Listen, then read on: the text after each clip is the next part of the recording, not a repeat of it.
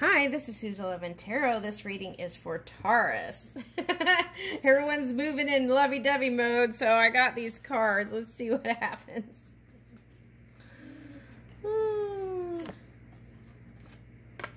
Okay, Chiron. Okay.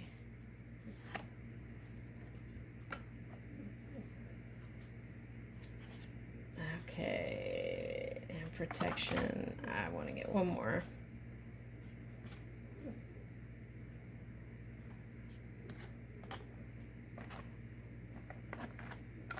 Oh, it's showing up again. Okay. All right. Okay, so, hmm. All right, so here we go. Chiron. Okay, so um, this is healing. So a lot of you, some of you um, were like uh, going through some things with partnerships and um, okay so there is this healing phase right and some some of it uh, was like family and some of it had to do with you know the C thing for some of you okay so that's what I'm picking up okay and uh, it's really nice to know where your Chiron placement is. You can do a free chart online and go plug in your uh, birth date and uh, where you were born the time, and it will put the Chiron placement for you. And that would explain a lot for a lot of people. So go see if you can do that. Okay, now, Pandora. So even with the past uh, funk, okay, you had hope here, okay, in love, okay, deep down. You believe in love, okay, even if you put work and money first, you still believe in love. Okay. And then here is Rhea, protection. Okay, so protection is moving in love and grace and releasing that duality and moving from neutral to positive as much as possible and moving in that grace. Okay. So then here is Prometheus. Okay, so okay, so this is the fire bearer, right? So I feel like you are figuring out where you're going to put that new spark. Okay, but this is coming up again, so I want to say it. Okay, you don't have to sacrifice one for the other, okay? You can have it all, okay? And uh, you can recharge as much as you can, okay, as you're moving along, but you don't have to give up one thing for the other. You can have it all, okay. You don't have to be super mom, but, um, you know, just know that um, there is no limit. And so open up those places within you where you feel like, um, you know, you are only um, doing this or that. See if you can open those areas out more, create more space. All right, so.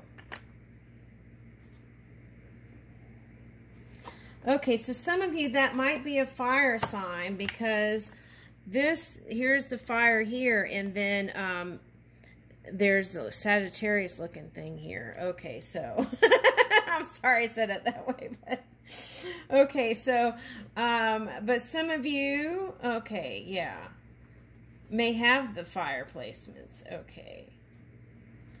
So, some of you had to turn your cold shoulder to your ex. I picked that up. Okay. So just kind of free yourself from that, right? Okay. You don't have to be lovey-dovey, but you could get to neutral, right? Okay. All right.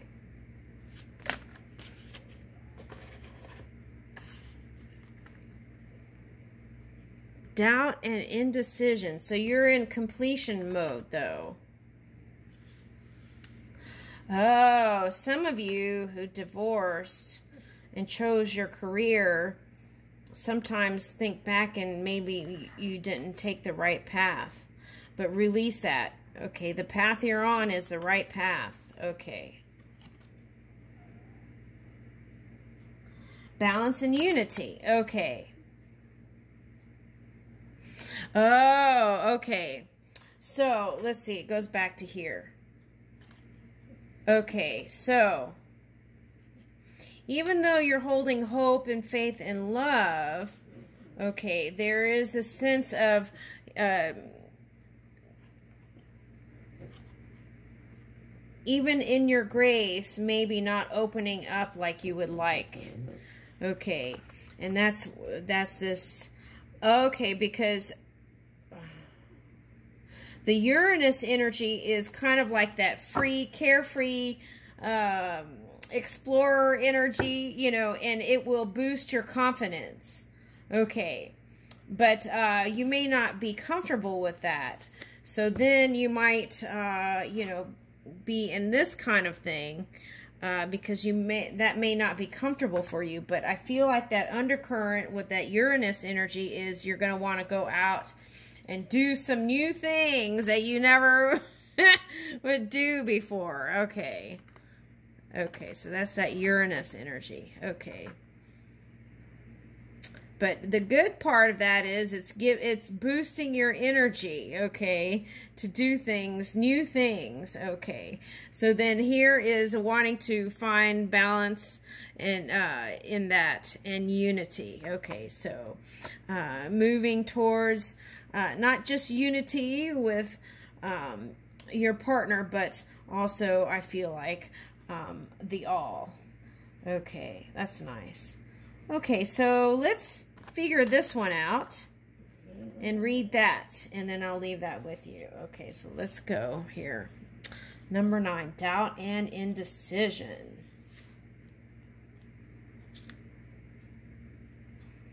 I think you know. She loves me, she loves me not. She takes a sniff of her flower and then pulls off a petal and lets it fall, speaking softly to the flower, He loves me, he loves me not. As he takes her hand, he looks at her fondly, uh, but he is not so sure. And another hand reaches out for him, pulls him along to explore a new journey of love beyond the frame. Okay, what is the solution? Doubt and indecision abound in this love triangle.